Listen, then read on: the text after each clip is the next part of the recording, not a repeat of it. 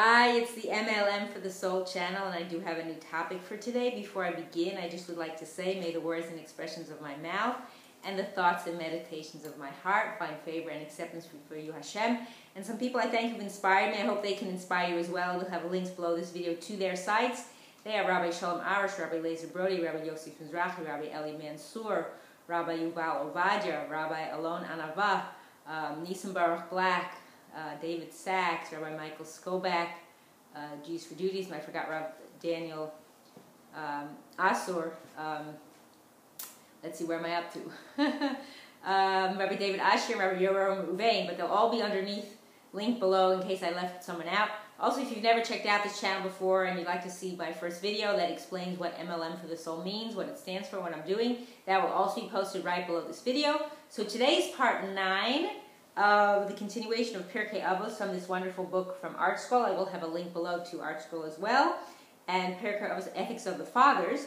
So I'm up to the second half of Perek Revi'i, and I stopped at 14, which is Yudalit, so now I'm up to Tedvav. So Tedvav, uh, Rabbi Elazar ben Shamua Omer, Yi Chavod Talmidcha, Chaviv Alecha Kishalach, Chavod Chabercha, Kamara Rabach, Kamara Rabach, Kamara Shamayim. So Rabbi Lazar ben Shamua says, Let the honor of your student be as dear to you as your own. The honor of your colleague is the reverence for your teacher, and the reverence for your teacher as the reverence of heaven.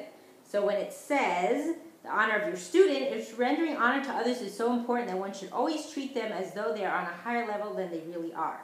So that's what you got to do. And then when it says about the reverence of your teacher, the comparison of a teacher to Hashem means that one should accept his teacher's opinion even though he disagrees, just as if he did not question Hashem's word. So if your teacher, as long as he's a Shemayim and he's, he's, you know, not making up his own laws, then yeah, you have to give him that uh, honor and that respect. Okay, Ted Zayin, Rabbi Yehuda Mer, Havei Zahir b'Talmud sheshigigat Talmud ola zado. Rabbi Yehuda says, be meticulous in study, for a careless misinterpretation is considered tantamount to willful transgression. So when it talks about a careless misinterpretation, misinterpretation is judged so harshly only if it was due to the student's failure to apply himself according to his capacity. A sincere mistake is regarded as an unintentional error. There you go. Uh, Yud Zayin, Rabbi Shimon Omer, Shosha Ketarim Haim, Keter Torah, V'cheter Kahuna, V'cheter Malchut, V'cheter Shem Tov, Ole Al Gabehen. You might have heard this one before. Rabbi Shimon says there are three crowns: the crowns of, to- of the crown of Torah, the crown of priesthood, and the crown of kingship. But the crown of a good name surpasses them all. So when he's saying about a crown of good names, this crown adorns someone whose deeds and behaviors earn him the respect and affection of his fellows. Even scholars, priests, and kings are lacking if they fail to earn this crown. So if you have those other crowns, but you don't have a good name, then you know those others don't really matter as much. Okay, Yudchet, Rabbi Nehorai Omer, Have Golel Makom Limkom Torah Ba'al Tomar Tova Acharecha Shevacharecha Yikhaimuha Biadecha El Bin binatcha al tisaim. So Rabbi Nehorai says, exile yourself to a place of Torah and do not assume that it will come after you, for it is your colleagues who will cause it to remain with you. And do not rely on your, on your own understanding. Uh, so that's from Proverbs. So when it says exile yourself to a place of Torah, one should uproot himself and move to a place where there are Torah scholars willing to learn and be stimulated. And then when it says, then it will come after you, meaning that the Torah, i.e., the scholars, will follow you if you move to a place currently devoid of Torah. Usually not the case. And um, when it says, for it is your colleagues through stimulating debate who will cause it to remain with you. So when you have that back and forth, it stays with you because you're interested. So according to Rashi, this explains the beginning of the Mishnah. One must live in a Torah environment because it is only in association with fellow students that Torah can be properly studied. And then when it says about do not rely um, on your own understanding, it means uh, by studying alone in an environment devoid of Torah scholarship. You know, if you're alone and you're the type of person who can't you know, do it. It's, for women, it's different. This is talking about men, so uh, it's not the case. Okay, Yutet, Rabbi Yanai Omer, Ein biadenu lo mish shalvat harishim ba'af lo mi yisurei tzadikim. Rabbi Yanai says it is not in our power to explain either the tranquility of the wicked or the suffering of the righteous, and that's that's a big question we've always dealt with throughout history. So when it talks about it's not in our power, we cannot know for sure if what befalls each of them is indeed a blessing or a calamity. We must therefore abstain from passing judgment in either case and not permit our own short-sighted view of events to influence our decision. That's according to Rav Hirsch. So we don't necessarily know. Don't think that something looks bad, it's actually good. You, in the end, we'll know when when Mashiach comes or when we're Meher Amenu or when we are come to our judgment day. Okay, so Chaf, Rabbi Matya ben Charash Omer, Havei Makdim b'Shalom Kol Adam, b'Shalom Kol Adam, excuse me, Havei Zanav la'arayot, v'alti rosh la'shu alim. So Rabbi Masya ben Charash says, initiate a greeting to every person and be a tail to lions rather than a head to foxes. So when he talks about um, being a tail to lions, better to be a follower of the righteous from whom you can learn than a leader of common people.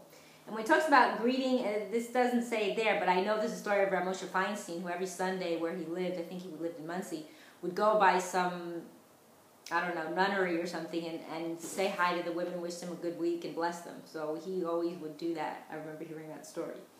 Uh, then, uh, let's see, Chafal, Rabbi Yaakov Amer, Ha'olam hazeh domeh leprozor b'fnei ha'olam haba hatkein atzmacha beprozor kadei shetikanes latir rak lin. So when Rabbi Yaakov says, this world is like a corridor before the world to come, prepare yourself in the corridor so that you may enter the banquet hall. So in the Talmud of Avodah Zarah 3a, there is a similar saying: the world is like the eve of Shabbat, and the world to come is like Shabbat. He who prepares on the eve of Shabbat will have food to eat on Shabbat. Okay, so that's okay. So chafbet huaya omer, same uh, rabbi. Yafasha achat b'tshuva masim tov olam hazeh mikol ha'olam haba. This is again another famous expression you may have heard. He used to say, better one hour of repentance and good deeds in this world than the entire life of the world to come, and better one hour of spiritual bliss in the world to come than the entire life of this world. So when it talks about better one hour, the Mishnah is dealing with two different concepts. One in this world, can one, uh, and I'm sorry, only in this world can one elevate himself spiritually. In the world to come, he can only enjoy the rewards for his accomplishments here. On the other hand, all the bliss of all the generations in the history of the world cannot equal an hour of bliss in the world to come. And uh, yeah, so you here's only where you can accrue all the merits, and in the next world where you get the rewards. So you got to do the work here, and the results happen there. Okay, Chav Gimel, Rabbi Shimon ben Elazar, Al Tir Tiratzed Chavercha b'Sha'at Kasov, Al Tinachamehu b'Sha'a Shemeito Mutol Fanav, Al Tishalo b'Sha'at Nidrov, Al Tishtadel Roto b'Sha'at Kal kalato. So Rabbi Shimon ben Elazar says, do not appease your fellow in the time of his anger, do not console him while his dead lies before him, and do not question him about his vow at the time he makes it. And do not attempt to see him at the time of his degradation. So when it talks about, about denial of peace, Rabbi Shimon ben Elazar's message concerns the importance of proper timing. To reason with or appease someone at a time of great passion is counterproductive. So when they're going through, they're in the heat of a battle, the heat of something, that's not the time when you want to, you know, like uh, say something that uh, it's not gonna, it's not gonna be the best time to talk to them. Okay, Chav Shmuel bin Al Tismach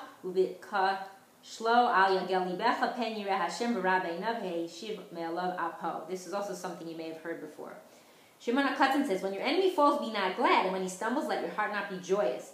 Lest Hashem see and it displeases him, and he will turn his wrath from him to you. So that last pasuk that was saying that, that was from Proverbs as well. So when it talks about when your enemy falls, this entire dictum is a quotation from the book of Proverbs. Shmuel Katan apparently was in the habit of quoting it when admonishing people.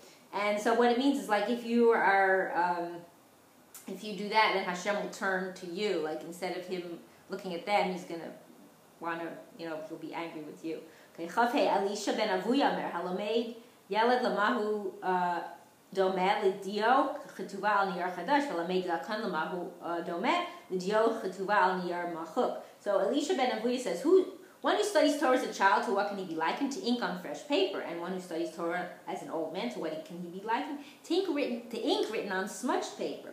When it talks about fresh paper, which retains ink legibly and permanently, this is a lesson on a person's duty to learn Torah while he's young and his mind is fresh and receptive.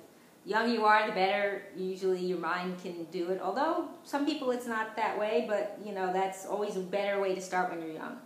Chavav, Rabbi Yossi ben uh, Yehuda Ish Kfar Habavli Omer, Halamed min Haktanim Lumahu Domeh, Lechol Anavim Kehot Vishotea Yain Migita, Halamed min Azkenim Lumahu Domeh, so Rabbi Yossi Bar Yehuda of Kfar Habavli says, when he learns Torah from the young, to what is he likened? To one who eats unripe grapes or drinks unfermented wine from his vat. But when he learns Torah from the old, to what can he be likened? To one who eats ripe grapes or drinks aged wine. So um, that's pretty much self-explanatory. The next one, Chavzayin 27. Rabbi Meir So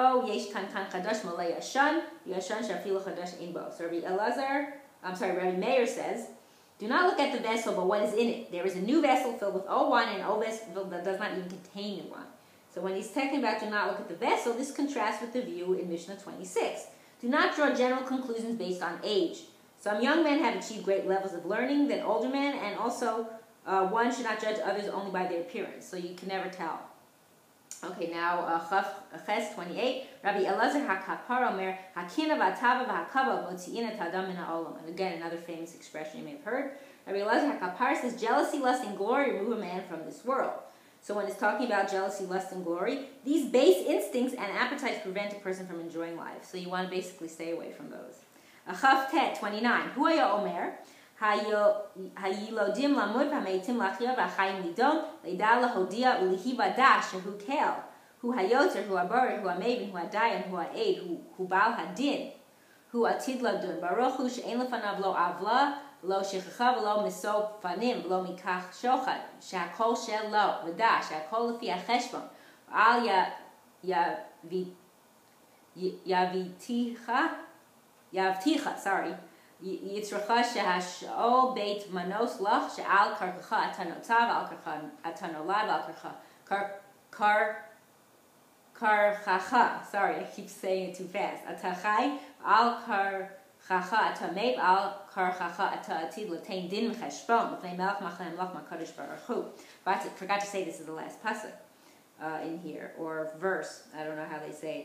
He used to say, The newborn will die, the dead will live again, the living will be judged, in order that they know, teach, and be, become aware that He is Hashem, He is the fashioner, He is the creator, He is the discerner, He is the judge, He is the witness, He is the plaintiff, He will judge. Blessed is He before whom there is no iniquity, no forgetfulness, no favoritism, and no acceptance of bribery.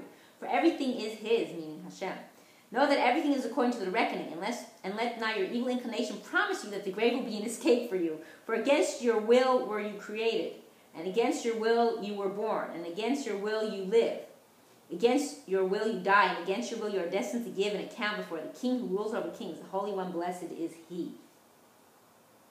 So pretty self-explanatory there. And just to finish it up, this uh, uh, Perek, Rabbi Chanani ben Akash Omer, Artzah Kadosh Baruch Hu, Zakot et Yisrael, Lefi Chak Hirba Lehem Torah Mitzvah, Shem Hashem Chapetz, Leman Tzidkot Agil Torah Ya'adir. Rabbi Hanani ben Akasha says, The Holy One, blessed is He, wished to confer merit upon Israel. Therefore He gave them Torah mitzvahs in abundance, as it says, Hashem desired for the sake of it, meaning Israel's righteousness, that the Torah be made great and glorious. Again, that's from Yeshaya.